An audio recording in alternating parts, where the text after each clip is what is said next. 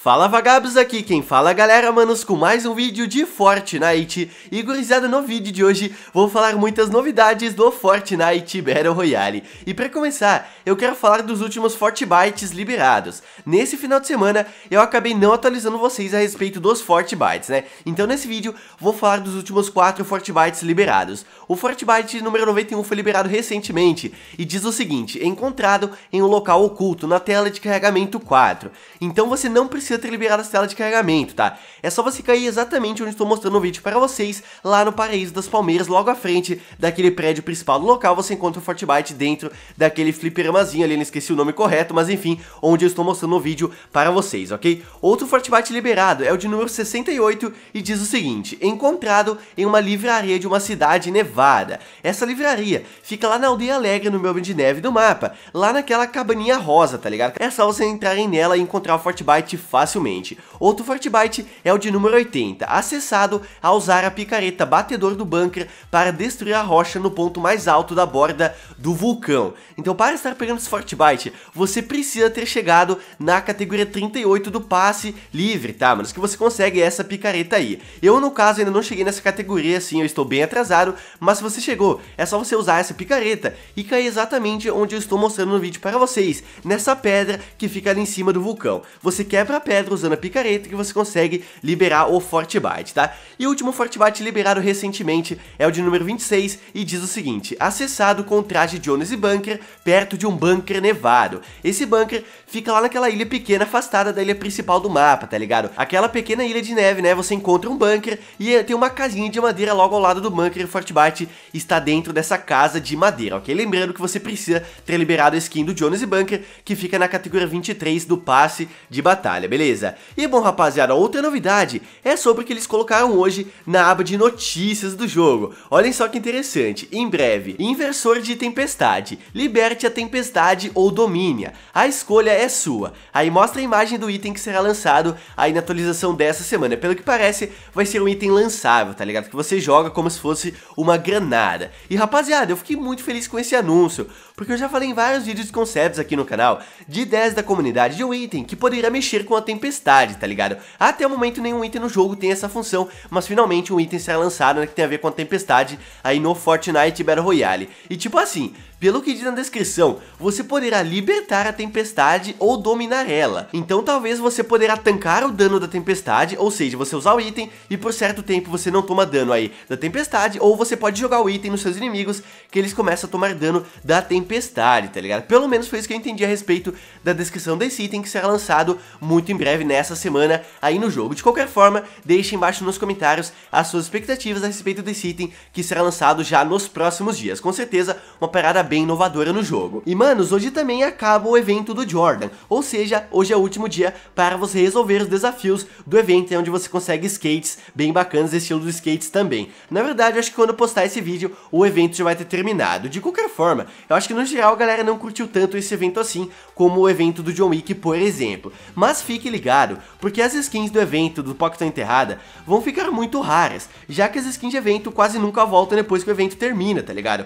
Então caso você gostou das das skins. Compre elas agora, ainda que elas estão na loja, antes que elas sumam e demorem muito tempo para voltar no jogo, ok? E bom, gurizada, outra novidade bem legal é a respeito do novo pacote iniciante. Esse pacote já tinha sido vazado em algumas atualizações atrás, mas pelo que parece, ele já está disponível em certos dispositivos em certas regiões do mundo. Então é super provável que até, sei lá, terça ou quarta-feira esse pacote já fique disponível para todo mundo comprar na loja, custando 5 dólares, tá? Lembrando que você consegue a skin da Wide, né, que é essa mulherzinha aí, que é uma skin épica, a mochila Pallet Pack e também 600 V-Bucks, assim como todo o pacote de iniciante, ok? Então caso você gostou, já prepare seu dinheiro para comprar esse pacote nessa semana aí na loja. E já que eu falei aqui em um novo pacote, vocês lembram que você tem um vídeo recente sobre esse pacote exclusivo do Xbox One S, né? Que ele será lançado muito em breve. Pois bem, hoje o Xbox anunciou oficialmente a data de lançamento desse pacote, que será no dia 7 de junho, tá, manos? Será muito, muito em breve. Para quem não sabe,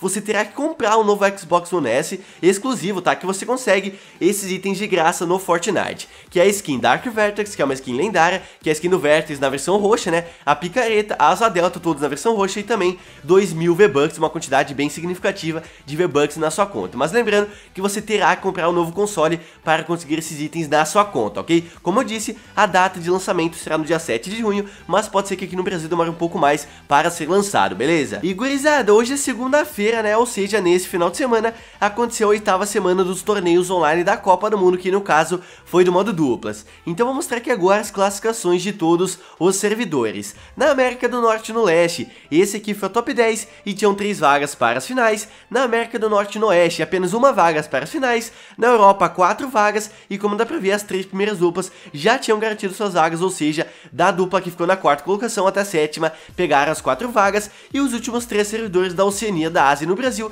nesse final de semana não tinham vagas para as finais do Mundial, ou seja, apenas o dinheiro na de cada colocação. Na Oceania, esse aqui foi o top 10, na Ásia, esse foi o top 10 e no Brasil, esse aqui foi o top 10. Parabéns para a dupla do Leléo e do Gordinho, ficaram na primeira colocação, mas como eu disse, infelizmente não tinha vaga né, para as finais do Mundial no modo dupla nesse final de semana. Lembrando que ainda tem mais duas semanas para serem disputadas, uma no modo solo e a outra no modo duplas, então algumas vagas ainda precisam ser preenchidas em todos os servidores para as finais da Copa do Mundo, ok? Com certeza muitas emoções ainda estão por vir. E já que eu toquei nesse assunto, tem uma parada bem polêmica que a galera tá comentando sobre esse final de semana, que é de outro caso de trapaça, envolvendo o mesmo jogador. Exatamente. Como eu mostrei antes, esse aqui foi o top 10 da América do Norte e no Leste, que tinham três vagas para as finais. E a dupla que ficou na terceira colocação foi dos jogadores Cody Ronaldo e do X-Chief. E esse cara, o X-Chief, acho que é assim que se fala, ele já tinha trapaceado lá na semana 4, na semana 5, se eu não me engano.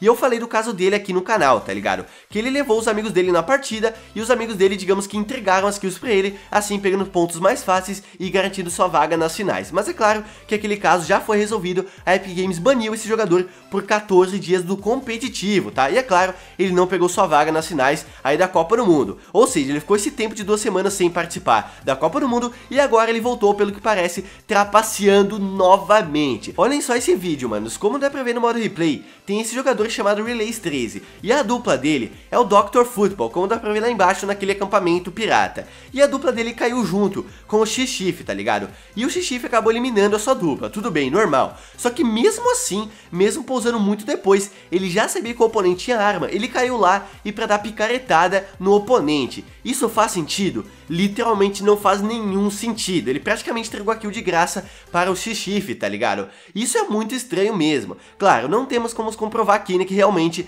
ele está trapaceando novamente, né, pegando kills de graça com os seus amigos. Mas é muito estranho isso acontecer novamente com o mesmo jogador que já tinha trapaceado na semana 5 dessa Copa do Mundo, tá ligado? E eu acho sim que ele está trapaceando novamente. Mas é claro, vamos ver qual vai ser a decisão da Epic Games a respeito desse caso aqui. Deixe embaixo nos comentários se você acha que ele trapaceou novamente ou não, né, manos? E se realmente for comprovado que esse cara trapaceou de novo, vai mostrar que 14 dias de banimento não é nada, não afeta nada esse tipo de jogador, né, manos? Porque o cara trapaceou na semana 5, ficou um tempo sem jogar e voltou agora de novo trapaceando. Tipo assim, mas eu acho que é uma pena muito leve para esse tipo de jogador. Tem que ser banido permanentemente, principalmente sendo que é um jogo de Copa do Mundo, que envolve muita grana, tá ligado? E é óbvio que a galera caiu em cima já hateando muito esse jogador novamente. Então vamos ver qual que vai ser o destino desse caso que eu citei agora. Mas bom, manos, outro assunto que eu separei nesse vídeo é sobre a Friday Fortnite. Pra quem não sabe, é um evento de grande sucesso, né, que voltou agora recentemente,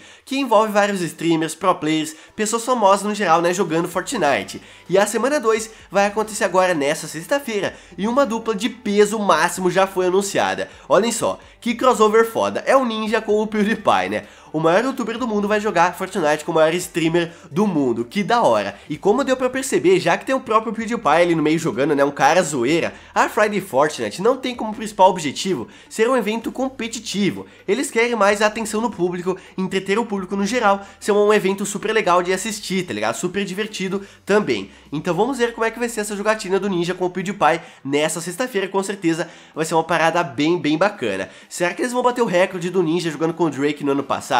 Se eu não me engano, aquela live pegou 630 mil pessoas ao mesmo tempo, um negócio insano demais. Será que com o PewDiePie ele consegue bater esse recorde? Eu acho muito difícil, mas vai saber, né? Mas então é isso, galera. Espero que vocês tenham gostado aqui do vídeo. Deixe embaixo nos comentários a sua opinião sobre os assuntos que eu falei aqui no vídeo de hoje, o que você achou do item que foi anunciado hoje na aba de notícias e também comente a sua opinião a respeito do jogador que parece, né, que pelo jeito ultrapassou novamente na Copa do Mundo, se você acha que esse tipo de jogador merece uma punição mais severa ou não. E é claro, se você gostou do vídeo, deixa o like porque não custa nada e vai estar tá me ajudando demais. E mande esse vídeo para seus amigos para eles ficarem sabendo dessas novidades e também para o amigo seu que adora os pacotes iniciantes para ele ficar sabendo que o outro pacote será lançado muito em breve na loja, custando 5 dólares novamente. Então é isso galera, aquele abraço, se vemos no próximo vídeo, valeu, falou e eu fui!